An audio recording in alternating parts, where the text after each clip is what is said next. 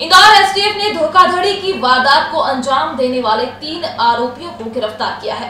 Alliance company में पैसा लगाने के लिए लालच देकर लोगों से मोटी रकम ये ऐंठते थे।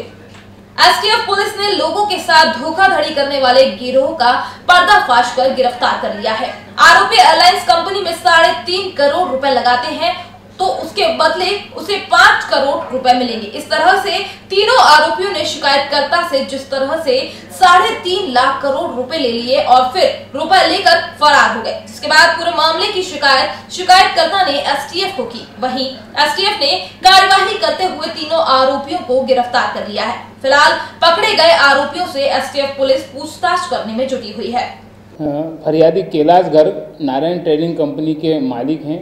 इनके पार्टनर हैं भगवान दास। इन लोगों को राजेश सुखवाल, आदित्य झा एवं अनिल महात्रे। अनिल महात्रे और आदित्य झा ये बम्बई और पुणे के रहने वाले हैं। इनके द्वारा इनको बताया गया कि अगर आप साढ़े तीन करोड़ रुपए नगद हमें दे देंगे तो हम साढ़े पाँच करोड़ रुपए आपको आर कर देंगे। इस लालच में आके और इनको कुछ बैंक के पेपर्स वगैरह ईमेल वगैरह दिखाए गए जिनसे इनको भरोसा हो गया कि ये हमारे खाते में पैसा विदेश से आ रहा है। इस इस लालच में आके इन लोगों ने साढ़े तीन लाख रुपया नगद इन्हें दे दिया जो राजेश सुखवाल लेके फरार हो गया। उसके बाद में इन लोगों ने फ़ोन वगैरह सब बंद कर लिए।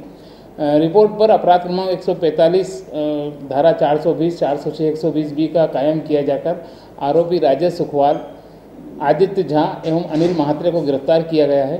शेष अन्य आरोपियों की तलाश जारी है।